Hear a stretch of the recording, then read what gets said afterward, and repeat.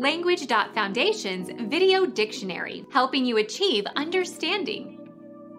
United States financier who gained control of the Erie Canal and who caused a financial panic in 1869 when he attempted to corner the gold market, 1836 to 1892. Gould